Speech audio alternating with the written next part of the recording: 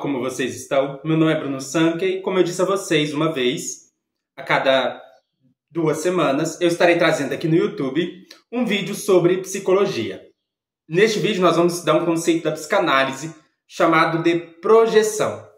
Eu já peço a você que deixe o seu like no vídeo, se inscreva no canal caso ainda você não seja inscrito e ative o sininho a fim de você poder receber novas notificações. Vou estar falando neste vídeo com vocês sobre o conceito de projeção na psicanálise. Esse é um conceito muito importante na psicanálise, mas ele deve ser olhado com certo cuidado, assim como todo conceito na psicanálise, né, porque por causa do uso que ele vai sendo tomando, né, pela, pelo senso comum, às vezes se perde um pouco do sentido do termo e às vezes a gente pode acabar fazendo uma coisa que a gente chama de psicanálise silvestre. O que é, que é psicanálise silvestre? É quando você faz interpretações simplistas de coisas. Né? A psicanálise séria é uma psicanálise que, para você interpretar alguma coisa, você tem que estar tá com o sujeito na análise, o sujeito tem que ter compartilhado com você vários aspectos da história de vida dele. Você deve fazer então uma interpretação complexa da, da história daquele indivíduo. Agora, quando a gente tem uma espécie de interpretação na psicanálise, onde simplesmente X significa Y, A significa B, isso não é psicanálise séria. Isso é psicanálise silvestre ou psicanálise selvagem. O que é psicanálise selvagem? É quando as pessoas fazem interpretações simplistas. Por exemplo, né, quando a gente pega o conceito de projeção. Qual é a ideia de projeção? Muitas pessoas pensam que projeção na psicanálise é assim: eu tenho um desejo reprimido, e aí eu não consigo lidar com esse desejo dentro de mim, então eu projeto esse desejo na outra pessoa, e ao invés de condenar esse desejo em mim, eu condeno esse desejo na outra pessoa. Então muitas pessoas citam como exemplo disso dois casos famosos: o caso do homofóbico e o caso do ciumento. O que seria o caso do homofóbico? O homofóbico seria a pessoa que é homossexual reprimido, mas ao invés de condenar a homossexualidade em si mesmo, ele condena no outro. E o ciumento? O que é o ciumento? O ciumento é a pessoa que ela quer trair, ela, ela tem desejo de trair, e ao invés de ela reconhecer esse desejo nela mesma, ela começa a sentir ciúme do parceiro, como se fosse o parceiro quem vai trair. Pode ter casos em que aconteça isso? Pode, mas todo caso significa isso? Não. Então, é, tem pessoas que, quando estão começando a estudar a psicanálise, eles acabam adotando uma espécie de psicanálise silvestre, como se a psicanálise fosse uma espécie de tabelinha para fazer interpretações, do tipo: se a pessoa é homofóbica, logo é um homossexual reprimido. Se a pessoa está com ciúme, logo ela quer trair. Se vocês já viram isso, isso é bobagem, isso não tem nada a ver. A psicanálise não diz que todo homossexual, todo homofóbico é um homossexual reprimido. A psicanálise não diz que toda pessoa que está sentindo ciúme é porque quer trair. Então, sejamos cuidadosos. Já vou começar o vídeo falando assim, para a gente ser cuidadoso com interpretações simplistas da psicanálise. Então, já começa o vídeo com esse cuidado. Vamos entender o que é projeção, então, de maneira séria na psicanálise. Primeiro, a gente tem um conceito mais amplo de projeção e a gente tem um conceito mais estrito, mais específico. Primeiro, no sentido amplo, projeção dentro da psicanálise é toda vez que eu pego uma coisa que é interna minha e projeto essa coisa em alguma coisa exterior. Então, o que é projeção? É eu pegar uma coisa do meu mundo interior e colocar, deslocar essa coisa para o mundo exterior. Vamos pensar exemplos de projeção muito famosos. Um exemplo é o que a gente chama na religião de animismo. Então vamos lá. O que, que um animista pensa? Aqui, claro, está sendo simplificado. É, o animismo é uma religião bastante complexa. O animismo não, é não é uma religião primitiva, igual alguns pensam. O animismo não tem nada de bobo, de irracional. Mas aqui vamos pensar o que, que talvez aconteça em alguns casos de animismo, em alguns casos de religião animista. Eu tenho, por exemplo, uma árvore. Uma árvore, ela não tem sentimentos. Uma árvore, ela não tem desejos. Sentimentos, desejos, são coisas do ser humano.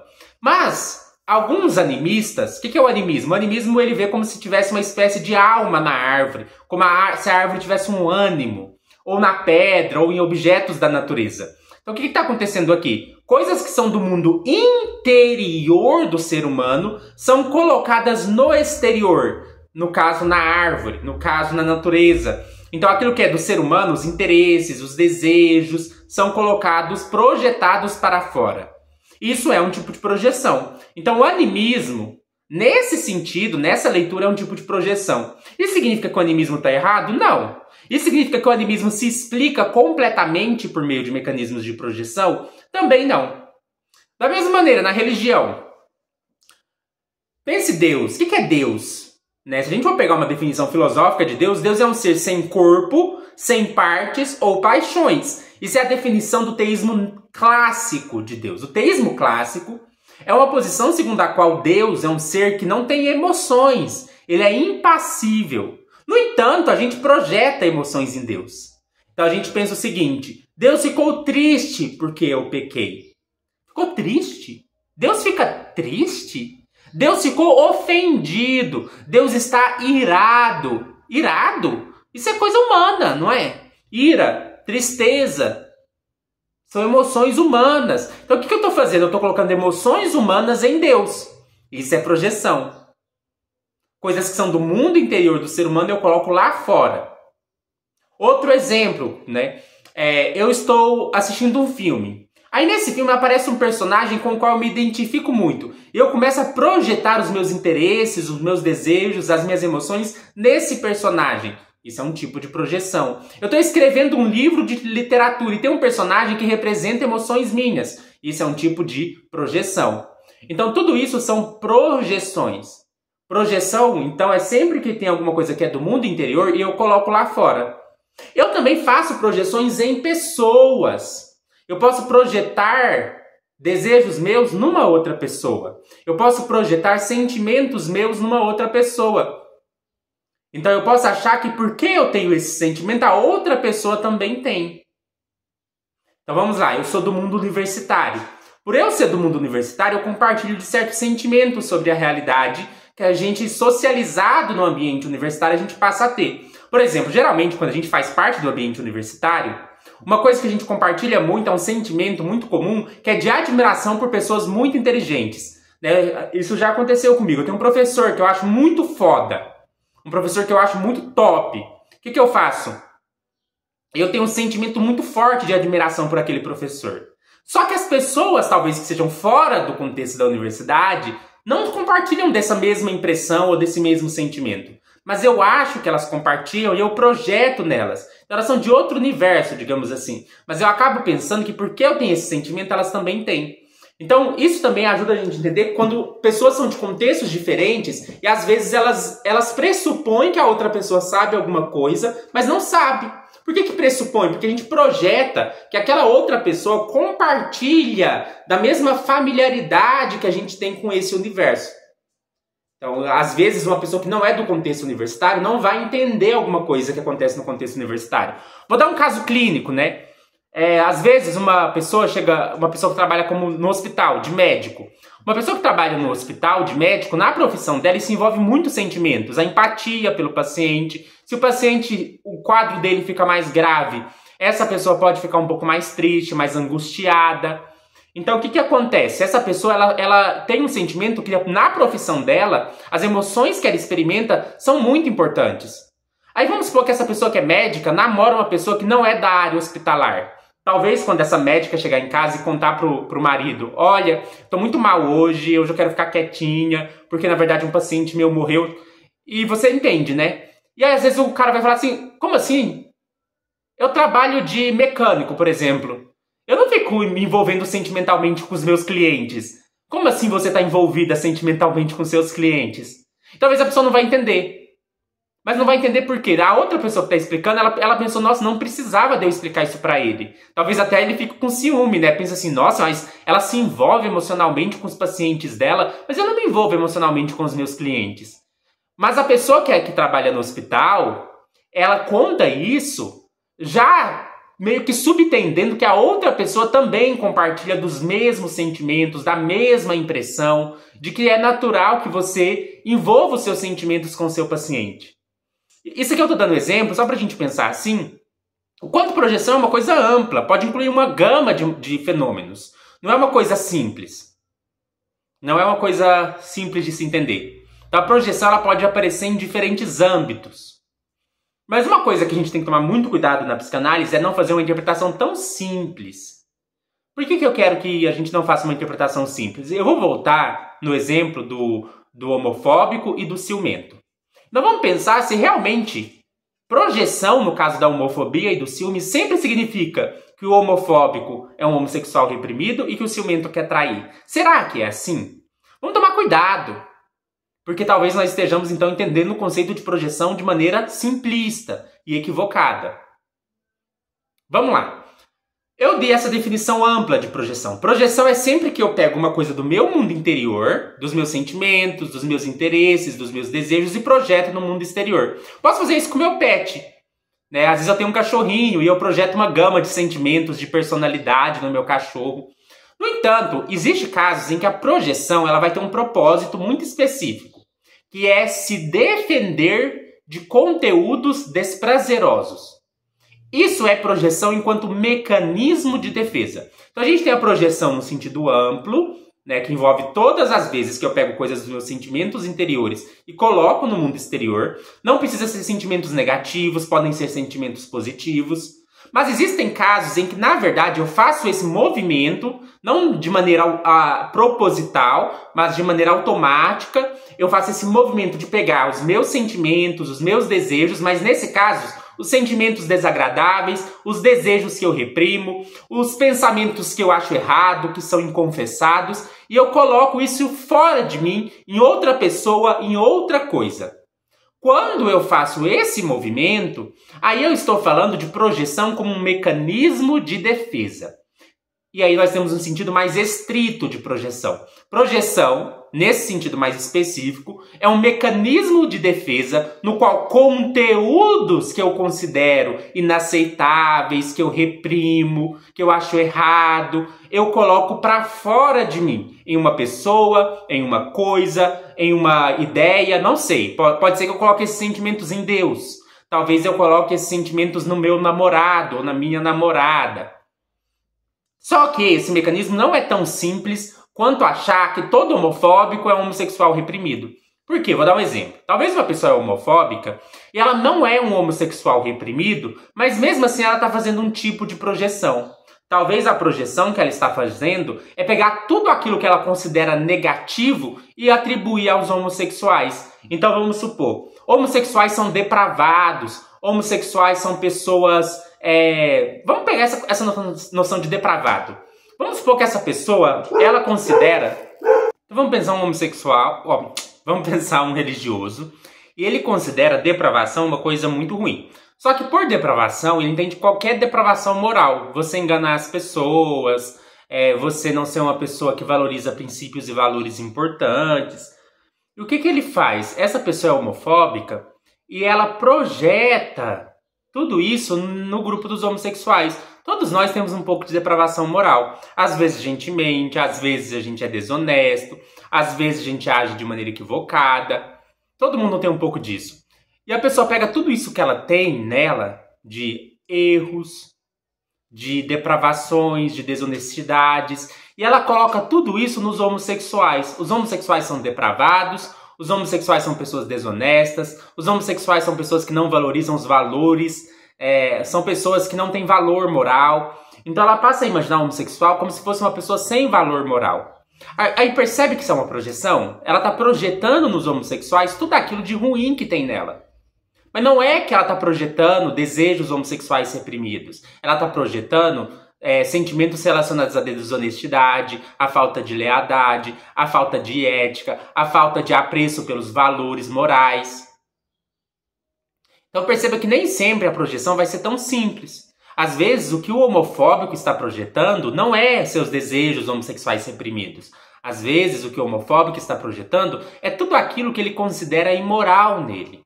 Vamos de novo agora no caso da pessoa que tem ciúmes. Todo ciúme é porque a pessoa quer trair, não faz o menor sentido. Tem casos que obviamente não é isso. Vou dar um exemplo de um caso que obviamente não é isso. Existe um tipo de toque que a gente chama de toque de relacionamento. No toque de relacionamento, que é o transtorno obsessivo compulsivo de relacionamento, algumas pessoas experimentam o medo de que elas vão trair ou de que elas serão traídas. Por que, que elas têm esse medo? Porque existe uma insegurança, uma ansiedade. Elas têm uma insegurança em torno do relacionamento.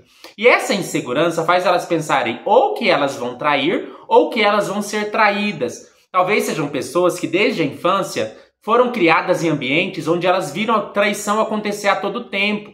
Ou não precisa ser traição sexual, talvez elas viram amigos é, traindo amigos, é, talvez elas experimentaram abandonos, desamparos. E aí, por causa dessa história de abandono, de desamparo, essa pessoa tem uma insegurança muito grande que se ela tiver num relacionamento, vai acontecer alguma coisa ruim que geralmente é apresentado como sendo uma traição. E ela pensa que ou ela vai trair ou que o parceiro vai trair.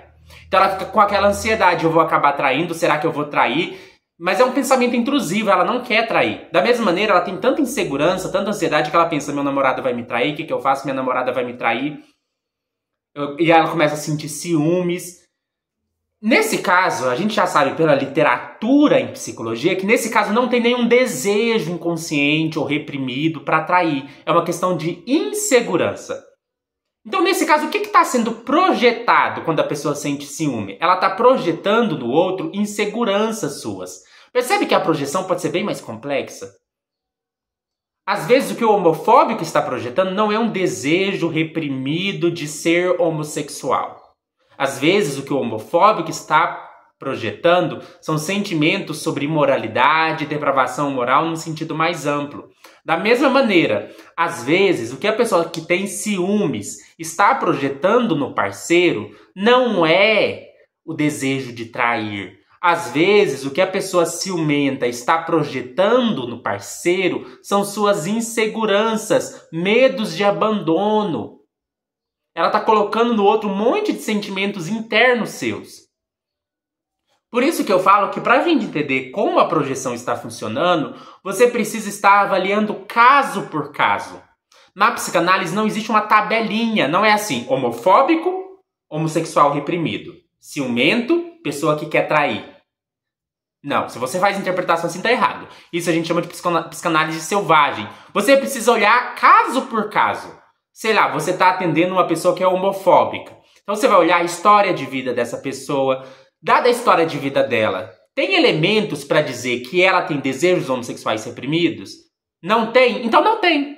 É outra coisa. Se você tá querendo ver desejos homossexuais reprimidos ali onde não tem, é problema seu. Você tá, você tá projetando no paciente coisas de interpretação equivocada. Da mesma maneira, chega um paciente e conta para você: Eu sinto ciúmes do meu namorado. Aí você pensa: todo mundo que sente ciúme é porque quer trair.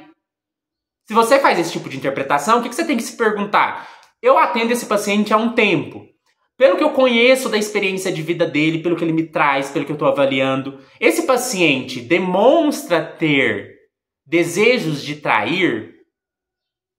Não, então não faz essa interpretação. Outra coisa, se você está atendendo um paciente, ele tem toque, transtorno obsessivo compulsivo de relacionamento, você já sabe que você não pode fazer a interpretação de que é desejo reprimido. A gente já sabe que pensamento intrusivo e pensamento obsessivo não vêm de desejos reprimidos, não expressam desejos reprimidos. Por isso a importância também de você ficar atento ao diagnóstico. Tá atendendo um paciente, ele tem toque? Então, esquece. Todo pensamento intrusivo que ele te trazer não é, não é desejo reprimido. Por exemplo, né, de novo o exemplo do homofóbico. Existe um tipo de toque que a gente chama de toque de orientação sexual. O que é o toque de orientação sexual? É quando a pessoa fica pensando: será que eu tenho desejos homossexuais? Será que eu estou sentindo atração por homens?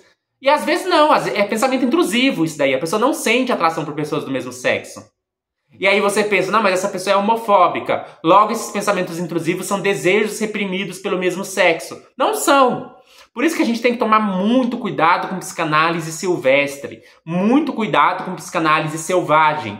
Há casos de homofóbicos que são homossexuais reprimidos? Sim, eu fui um homofóbico que era um homossexual reprimido quando eu era religioso. Há casos de pessoas que sentem ciúmes porque têm desejos de trair? Há casos. Mas são todos os casos assim? Não. Todos os casos que envolvem projeção são, são tão simples assim? Não são, às vezes é bem mais complexo. Então, às vezes, o que o homofóbico está projetando nos homossexuais são desejos reprimidos, imorais, que não tem nada a ver com sexualidade. Às vezes, o que o ciumento está projetando no parceiro não são desejos de trair, mas é uma série de inseguranças complexas. Por isso, sejamos cuidadosos quando a gente interpreta casos na psicanálise. Vou repetir. Na psicanálise, para você chegar a uma interpretação, você tem que fazer avaliação caso a caso, para entender como que isso está se dando no universo daquela pessoa. Tá? Cada pessoa é única, cada pessoa tem uma história única, por isso para cada pessoa tem uma análise. Né? Então, se você, tanto é que o Freud não usava tanto o conceito de projeção na análise, porque é um conceito que tem que ser utilizado com muito cuidado, porque para você entender o que está sendo projetado, você tem que entender mecanismos complexos internos daquela pessoa. Porque existe um, um conjunto de emoções, de sentimentos, de desejos internos que a pessoa está colocando lá fora. Mas como que ela está colocando lá fora? Não é simples. Para você entender isso, você tem que entender o universo complexo das emoções internas da pessoa. E isso só faz se você estiver analisando o caso de maneira específica, compreendendo aquela pessoa específica, compreendendo o que aquela pessoa específica traz na análise. Na psicanálise não existe uma tabela para interpretar os casos. Então sejamos cuidadosos com isso. Espero que vocês tenham gostado do vídeo, tenham entendido o conceito de projeção na psicanálise. Eu peço a você que deixe o seu like no vídeo, se inscreva no canal caso ainda não seja inscrito. Na descrição do vídeo está a minha chave Pix, caso você queira fazer uma doação de qualquer valor em agradecimento por este vídeo. Até mais!